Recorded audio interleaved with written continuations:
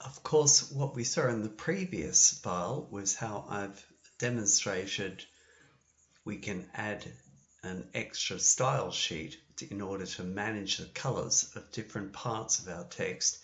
To save this, I have to press publish, otherwise the changes are undone.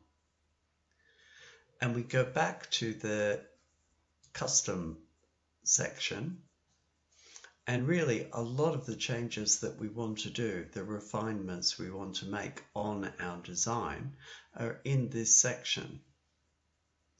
I can see the website's running a bit slow at the moment, so while that's catching up, it's worth going and looking at the choice of fonts. Now, there are lots of fonts available for free. In fact, there are, I think, about 900, 987 Google fonts that you can use and you can lose a lot of time actually choosing these.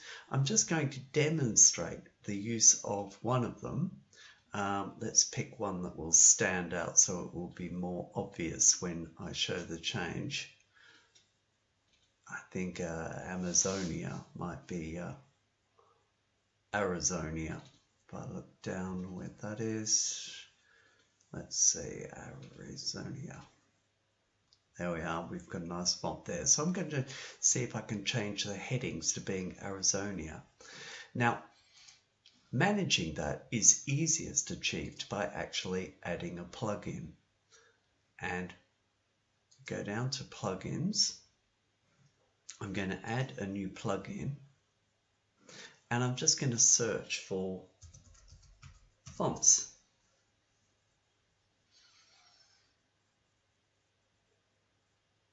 And there's a number of choices that come up. It's important to look at the number of installations and also don't be afraid to have a go at some of them and reject them and try other ones. So in this particular case, I already tried that one. This is for using online Google Fonts, offline, sorry.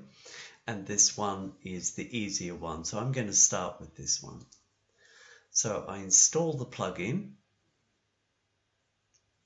and I activate it. That makes it active on my website. And I can see in the plugins area that I've activated that. Now when I go back to customizing my appearance, we can see that it should actually appear in this main customizing menu on the left hand side. And there it is. So I'm just going to look at the basic settings, um, font family, font family, the headings. So let's change the headings and I'm going to type in that Arizonia. I'm choosing that because it's distinctive and we can see that all of the headings have changed and some of the quotes. The body text has stayed the same. And if we look at some of the posts, we can see that the text has remained in the default font. So I'll change that base typography to something like uh, Robotica.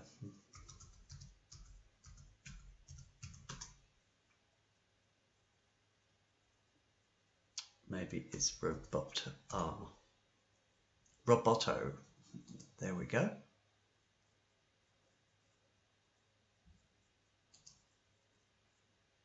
And nothing has changed at the moment.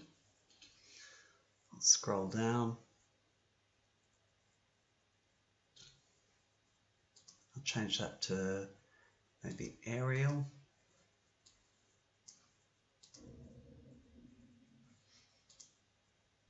still not changing, I might need to look at that again to identify what the paragraph text is. And I'll publish that to save the changes.